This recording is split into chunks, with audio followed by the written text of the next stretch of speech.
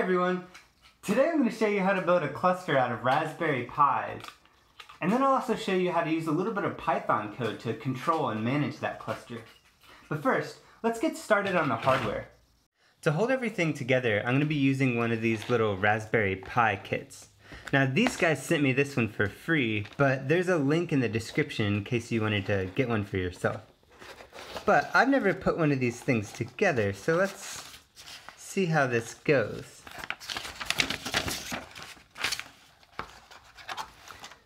I do like that it comes with a little pair of tweezers because kits like these tend to have small parts.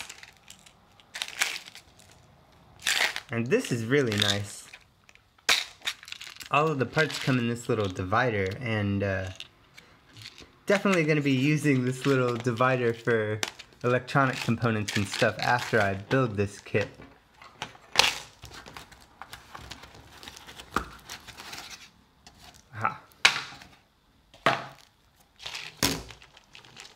So here are the actual acrylic dividers, the structure of the thing. So let's see how to put it together.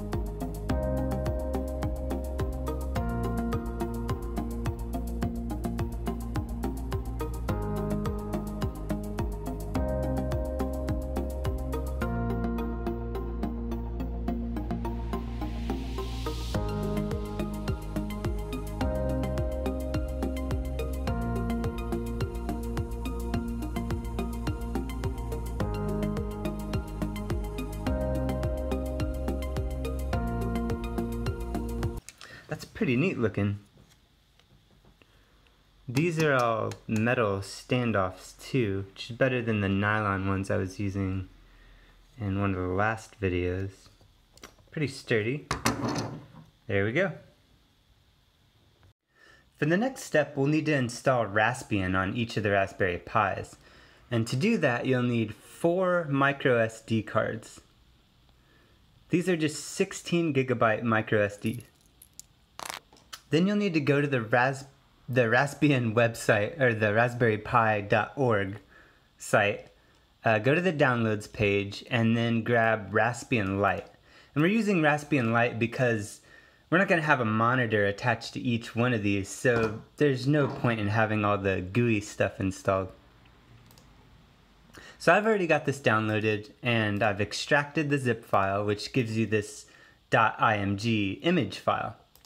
So now you need to flash that image onto one of the SD cards. And to do that, a really easy way is to just use this program called Etcher. So you download Etcher, and I've already got that done. And here's what Etcher looks like. So the first thing you do is select that image file for the image. And then it asks you to select a drive. Etcher is pretty smart, so when you take an SD card and you pop it into your system, Etcher will detect that right away and set that as the drive to install on. So that part's done. Then you just hit flash and you have to type in your password. Uh, so, you know, close your eyes. Okay and then it starts flashing. This does take a while, so now we wait.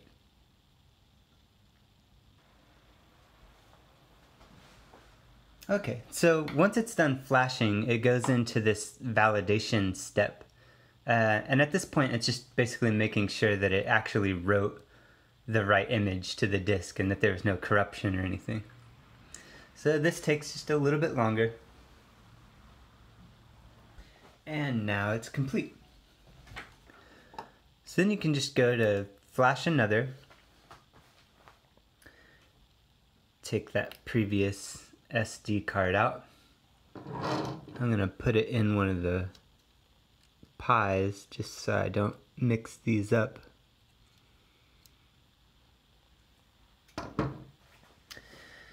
And then do this three more times.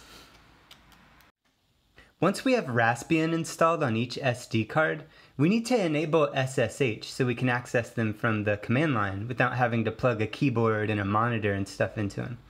So take each SD card out one by one and put it back into my computer.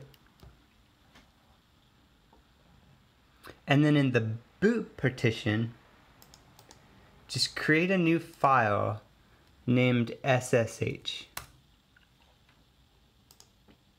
And make sure it doesn't have any file extension or anything like that. It's just a file named SSH and you don't put anything in it. Just the file. And that's it. That'll configure Raspbian to enable SSH when it first boots. So do that for all four SD cards. At this point, everything's ready to assemble. So take those SD cards, put them back into the pies,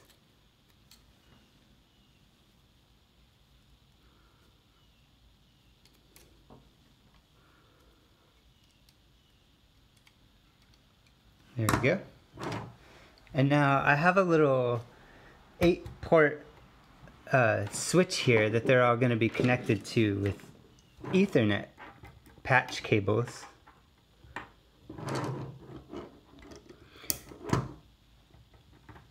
You can configure them all to use Wi-Fi, but I don't like to have that many Wi-Fi devices on my network at any time. I have a lot of Raspberry Pis.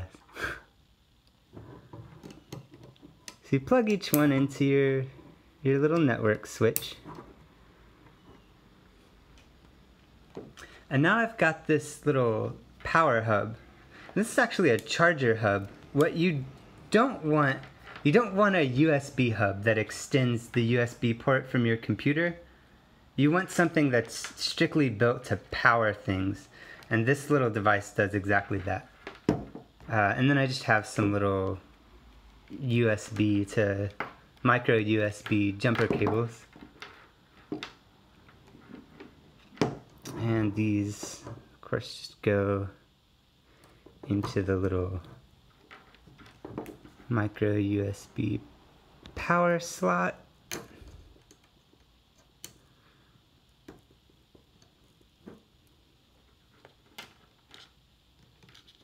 You don't have to use color coded cables like this, but be aware that it won't look nearly as cool.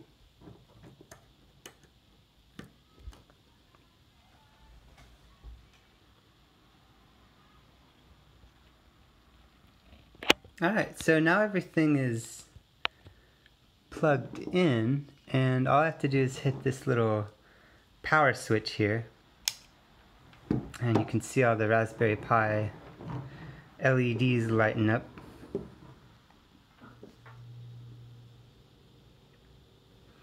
You can also see the lights on this network switch lighting up. See how they're all active now?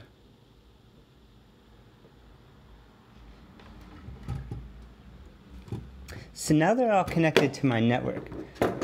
I guess I should have mentioned that the switch itself is also plugged into my router. Uh, you don't have to use an actual router, you can configure one of these Raspberry Pis to work as a router and do a little isolated local network just with the Raspberry Pis and anything you plug into here. But I've got this plugged into a, a larger portion of my network through another router using this cable here. Okay, so now I've got everything connected to my network, but in order to SSH into them, I'll need to know each of their IP addresses. To do that, I'm going to use an IP scanner. In this case, I'm using Angry IP Scanner. Uh, there are plenty of alternatives out there. So I'm just going to set the IP range to scan. I know that the devices are going to be connected in this range, but that's going to differ based on your router. So now just hit scan and then it should start finding devices in that range. Basically, it's just trying each one of those IP addresses in that range and like knocking on it with a little ping and taking a list of everything that responds. And here are all the responses. Now I only care about these Raspberry Pi host names. I'm going to sort by that. And so it gives me these IP addresses. And I can directly use SSH and connect to each IP address, but it would be easier to manage them all if we use something like Fabric. So Fabric is going to allow me to send these remote control commands to each one of them. Basically, it gives me an SSH connection to all of them in batch instead of having to do it one by one. So you're going to want to install Fabric. And this is a Python package, so pip is the command that you use to install Python packages.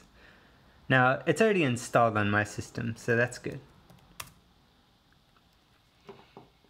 To use Fabric, you create a file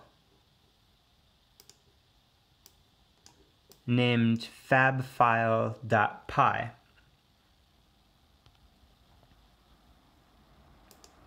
I've got a basic setup here that gives me the ability to send a generic command to all of the the Python or the Raspberry Pi devices.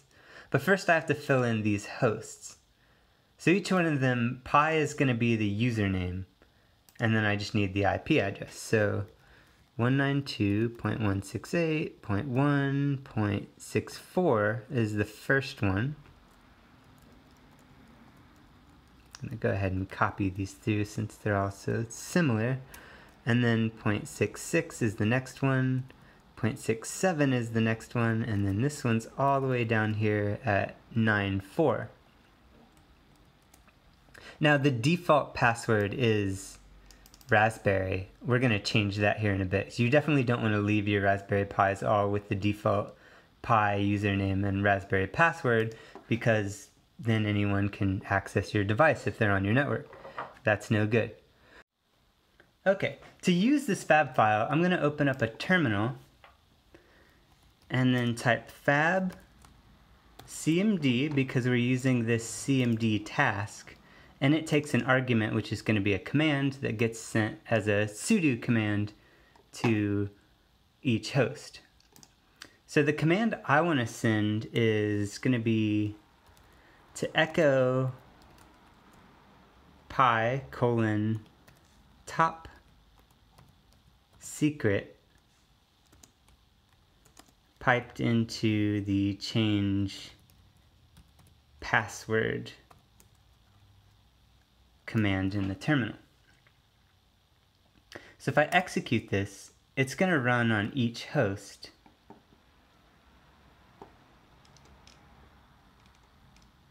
And you're going to see a little printout of the log of events of what just happened. So each host is going to be executing this command.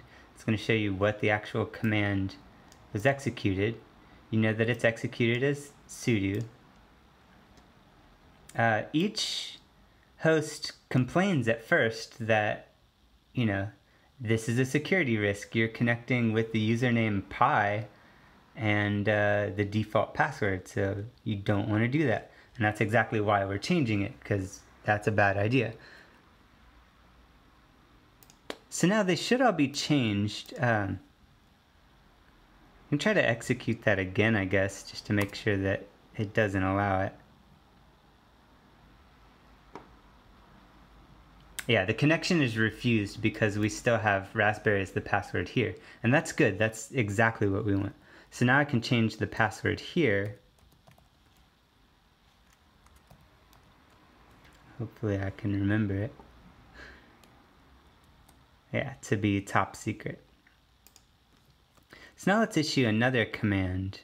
Um, this is when you're generally going to want to do, which is going to be to do an apt update, right? So we want to install all the, the updates. And it's working, so that means that the password was changed and now we're able to connect using that new password. So I'm just going to go ahead and update all the packages real quick. Okay, so apt is all updated. Um, we'll go ahead and actually upgrade all of the packages to do the actual install. I'm to pass this Y flag to automatically say yes to the, the installations. So that's going to go ahead and actually update all of the packages that have updates available. Cool. And then once that's done, if you've ever installed Raspbian on a Raspberry Pi, you know that one of the first steps is to expand the file system. Normally that's done through the the command line interface for the Raspberry config program.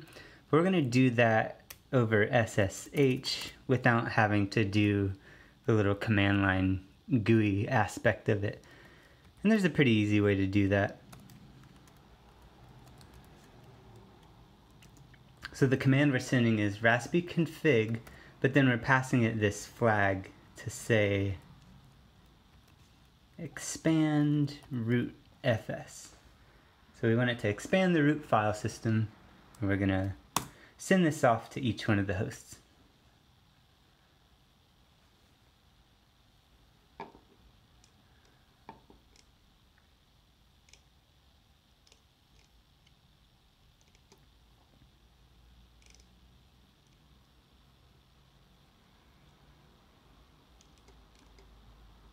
And that looks good. So now we can just reboot all of them.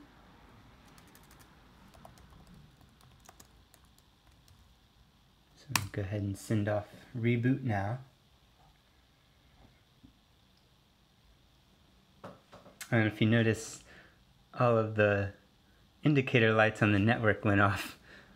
And now they're all coming back online.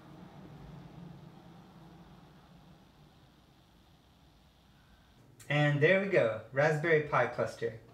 With just a little bit of Python code, you can add new commands to that fab file. that makes it really easy to do things like deploying web servers, obviously to keep them updated, to change configuration, start and stop services and stuff. Uh, Fabric is a really useful library, especially for things like this. Uh, I wanted to give a shout out to the PiRacks people. Thanks for sending me this awesome little rack kit. It's definitely neat.